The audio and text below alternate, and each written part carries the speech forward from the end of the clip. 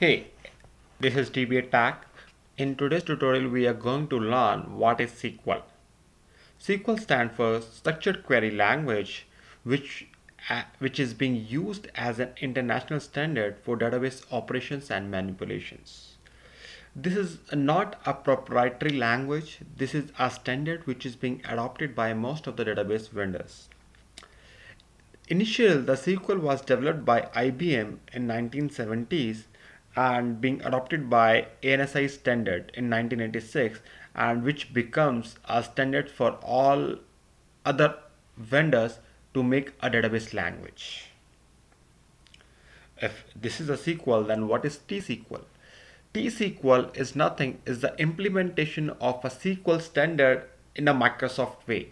So SQL is a standard and T-SQL is a proprietary of Microsoft where they come up with their own proprietary code syntaxes to customize the SQL standard. So T-SQL is nothing, it's a Microsoft implementation of a SQL that which is known as T-SQL. So this that is a language, that is the database language which is being used to query SQL Server, which is Microsoft SQL Server, regardless of any versions.